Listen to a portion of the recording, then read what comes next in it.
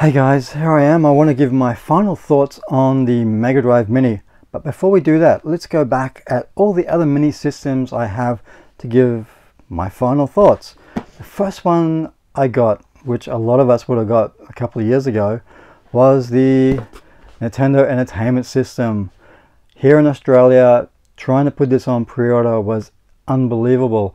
Uh, EB Games, Target, and I think Big W, all those websites just couldn't uh, deal with the uh, high demand. I mean, I, me and my wife were working in WA in a little town called Newman uh, back then, and I remember trying to pre-order that thing. I got as far as the shopping cart on EB Games, and that was it. It, it pretty much took down those websites altogether. It was really funny. Uh, you know, I don't think anybody could anticipate how popular this thing was, and you know, I'm somebody that never owned a Nintendo Entertainment System.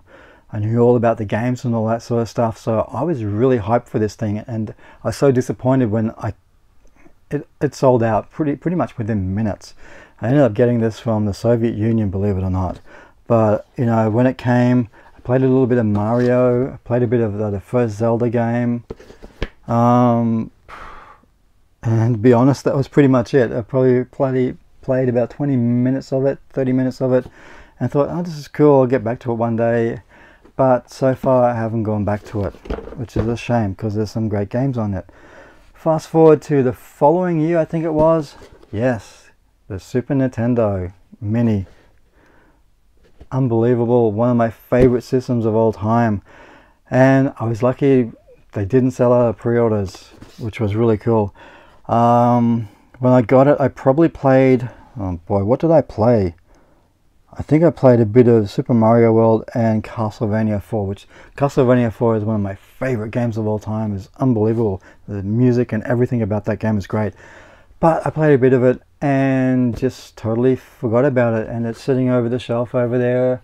Nice little display. That's pretty much all it is now as a, a display piece. It's not something that you plug into the TV and play at all. Now, I had no intention of getting the uh, PlayStation Classic.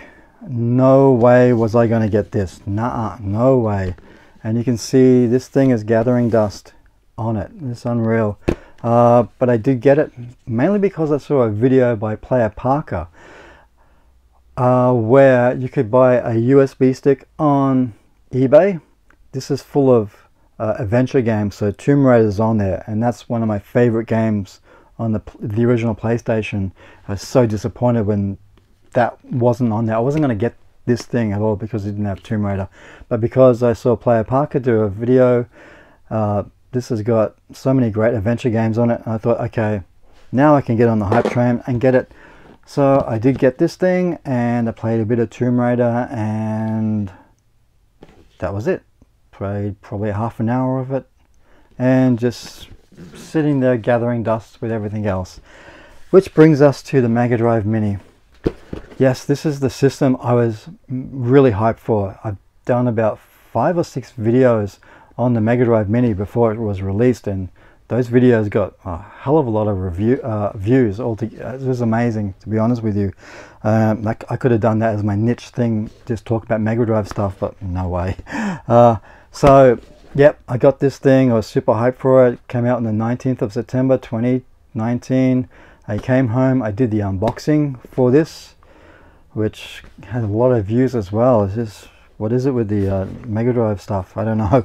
But um, after I did the unboxing of it, I plugged it on into the TV. I tried a bit of Tetris because this is the first time in what all those years that finally we played Tetris. Honestly, the best version of Tetris I've seen is probably on the Game Boy. This one didn't do it for me. I think the Game Boy one, to me, is the best. But I played a bit of, uh, what else did I play? I played a bit of um, Ghouls and Ghosts. Couldn't get past the first level. As usual, I couldn't do that. No way.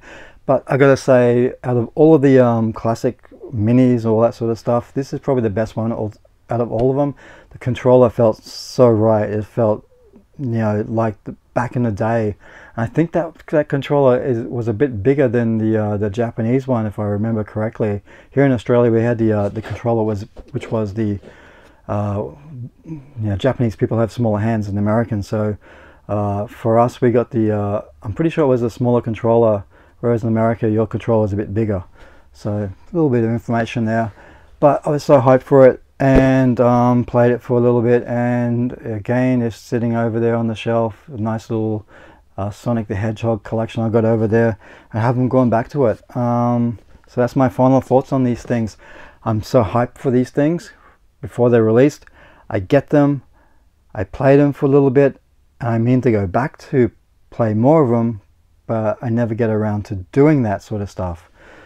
Um, it's just the way it is with me, I guess. Uh, hopefully one day when my daughter's a bit older, she's going to probably say to, hey daddy, what's this thing? Let's play this. So maybe then when she's a bit older, we'll we'll both rediscover these great systems. But that's my final thoughts on the uh, Mega Drive Mini super hyped for it.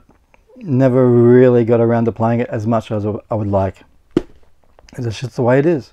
That's the way it is with me. Um, yeah, tell me what you think, guys. You've been in a similar situation. Have you bought these things and played them to death? Or you played them a little bit and just put them away and say, I'll come back to that another day, but you never do. Because that's what I've done. Uh, yeah, so that's my final thoughts on the Mega Drive Mini. Great system, Never really played it that much, unfortunately. Just the way it is. See you next time, guys. Bye.